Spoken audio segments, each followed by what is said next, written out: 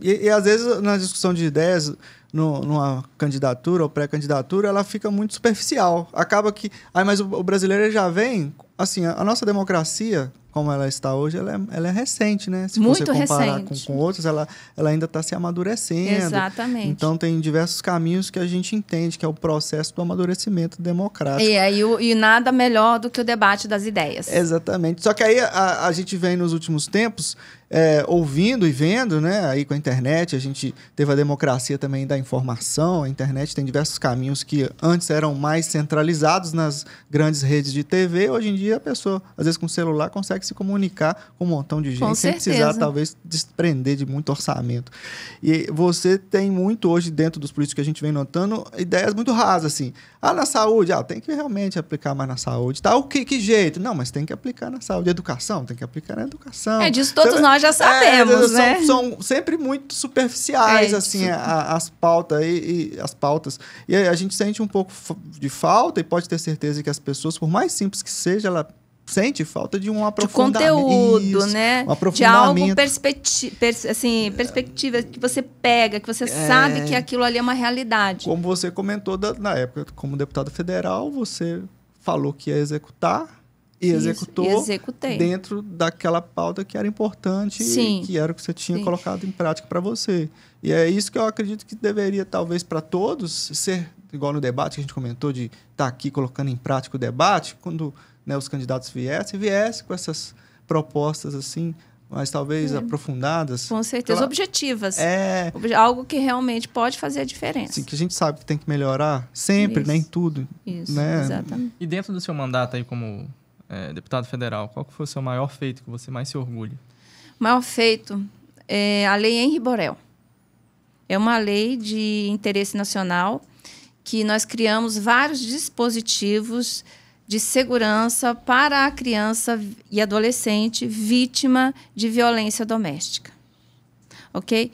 Lá na Câmara, logo que eu assumi meu mandato, né, em 2019, 1 de, jane... 1 de janeiro, não, eu assumi em fevereiro, que o presidente é que assumi em 1 de janeiro. Eu fui no dia, salvo engano, 1 de fevereiro de 2019. Se falava muito na violência doméstica, mas com foco na mulher. Sim. Pouco se falava sobre a violência doméstica praticada em face das crianças, dos idosos, ah, das pessoas com deficiência. Sempre focava só na mulher, na mulher, na mulher. E quando a mulher é autora da violência? Quando a mulher é agressora, o que se faz?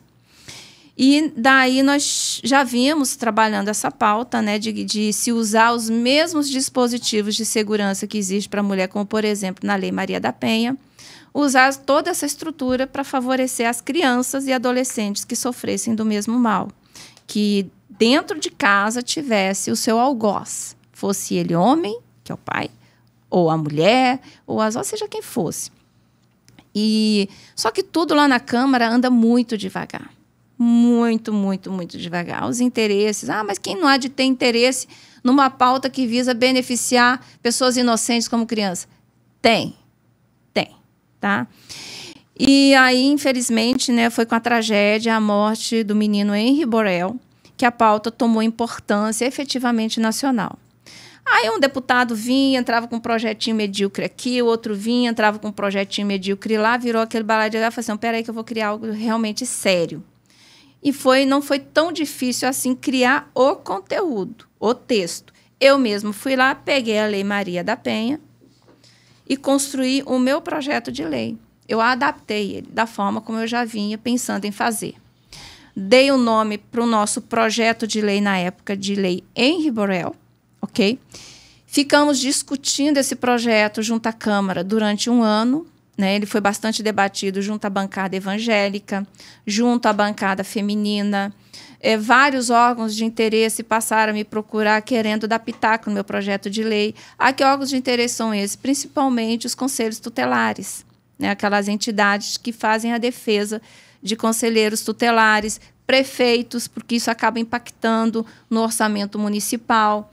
Enfim, ficamos ali um ano debatendo e aí eu criei uma data limite para o sancionamento dessa lei, que seria, como de fato foi, o aniversário do Henri Borel, que ele estaria naquela data completando oito anos de idade.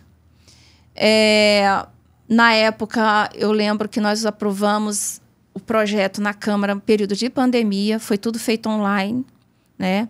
Uh, a esquerda o tempo todo querendo distorcer o conteúdo, querendo colocar questões relacionadas a gênero, ideologia de gênero no meu projeto. Eu não aceitei. Aí eles começaram a ameaçar de não aprovar por conta disso. Eu falei assim: tentem a sorte.